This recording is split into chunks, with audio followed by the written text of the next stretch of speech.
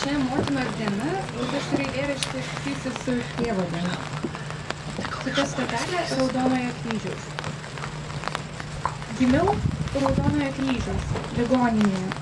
Man buvo penkeri, kai tėtis pateko į Raudono kryžiaus 1993. Tais metais į Lietuvą buvo atvažiavęs popiežius, gatvės atitvertos nuo šaligatvių, juose susigrūdė žmonės, spaudė prie širdies paveikslėlius ir kryželius, laukė Jono Pauliaus antrojo. Mama vedėsi mane už rankos, kažką pasakė policininkui ir jis mus praleido. Pas po avarijos matė automobilį, stebėjosi, kad vairuotojas liko gyvas. Po keliolikos metų gerdavom Raudonojo kryžiaus ligoninės kieme, šalia rašytojų sąjungos, jungdamiesi į girtuoklių sąjungą, sveigia vienybę. Kas rytą pabudus einu prie lango pasižiūrėti, ar ten nestovi mašina su raudonu kryžiumi. Naktį tėvo dieną pernai piešiau atviruką, jame liūdnas žvejys gaudė ketvirtą savo gyvybę. Šiemet tėvo dienos išvakarėse rašau šitą eilėraštį. Mano tėtis yra katė. Tėti, tėti, kiek gyvybių turi? Kiek dar liko?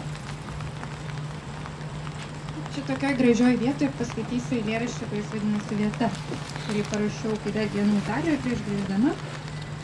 Vieta. Negimtojoje šaly mokiausi jaukintis laikinumą. Įsistatyti save šešiems mėnesiams į rutulį, kurį pakračius sninga. Tokius žmonės parsiveža iš svetimų kraštų, paprastai tų, kuriuose iš tiesų nesninga.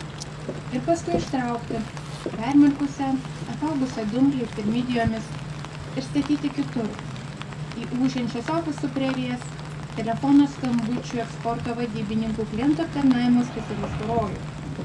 Atsitinu lėktų odą, krepšių kriauklės nuo galūnių, moliskus iš ausų. Labadiena, aptarnavimo skyrius specialisto asistentė, taip, ta klausa. Labadiena, skambinu jums iš Italijos, iš praeities, iš sniego rutulio, dėl statybų.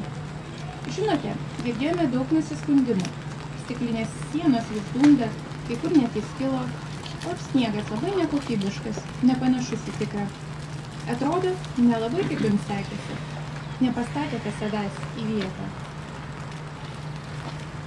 Tai kai grįžau iš Italijos, e, supratau, kad reikia susirasti kažkokį normalų darbą ir pardavinėjau maršrutiz, maršrutizatorius Afrikai. Tai kaip eilėraštis vadinasi maršrutizatoriai Afrikai.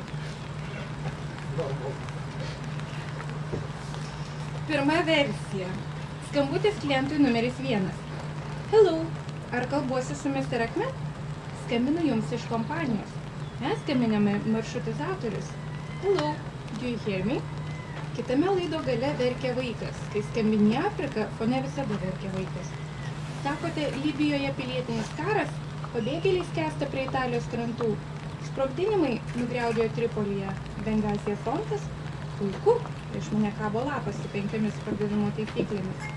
Tai galimybė plėstis, rinkoje išsiveršti į priekį. Mūsų maršrutizatoriai turi 4G prieigą. Jūsų kameros nestriks. Vaizdai iš teroristų atakų dar greičiau pasieks mūsų TV ekranus. Ahmedas sako pagalvosintis, lauks mano mylo. Skambutis klientui numeris 2. Dombazėje parašyta, tiek internetą valdžiai. Vadovės komentaras, kuriai. Hello, Mr. Mohamed, do you hear me? Skambinu iš kompanijos. Mes jau 18 metų sėkmingai tiekiame pasauliui maršrutizatorius. Mohamedas sako, kad šiandien penktadienis, o penktadieniais jis nekalba. Įsivaizduoju karinę uniformą, automatą Mohamedui ant pėties. Puiku, aš paskambinsiu jums pirmadienį. Skambutis numeris 3. Pirmadienis. Ahmedas nepasiekiamas. Mohamedas nepasiekiamas. Ir aš galvoju, kuris kurį.